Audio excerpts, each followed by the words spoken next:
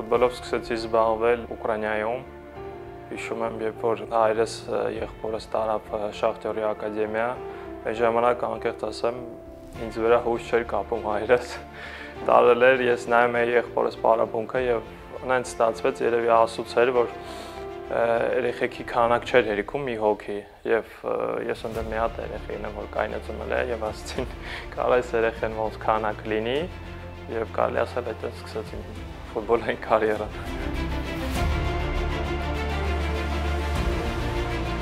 Առաջի խաղը, եթե չեմ սխալվում, Վանի հետ է եղել եւ կարելի ասել առաջի հանդիպումում ես խփեցի առաջի գոլը նոյ կազմում եւ շատ տպավորիչ էր ինձ համար։ Ավակ գրել ինձ համար պատիվ է եւ յուրաքանչյուր ֆուտբոլիստը ստե արժանի է լինել ավակ, բայց ինձ համար կարեւորը այն է, որ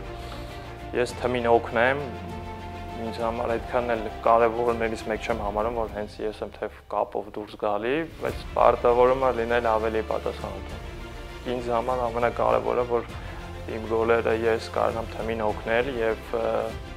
ավելի շատ աշխատեմ, օգնեմ թմին։ Եթե շարունակենք նույն ձև, նոան կարա շատ առաջ գնա թե Հայաստանի առաջնությունում, թե Եվրոպայում։ Բոլորս փորձում ենք օգնել մեր նոր ֆուտբոլիստներին ընդգրկվել ընդգրկվել ակումբում եւ կապ չունի ֆուտբոլի դաշտումա թե դաշտից դուրս բոլորս պատրաստ ենք օգնել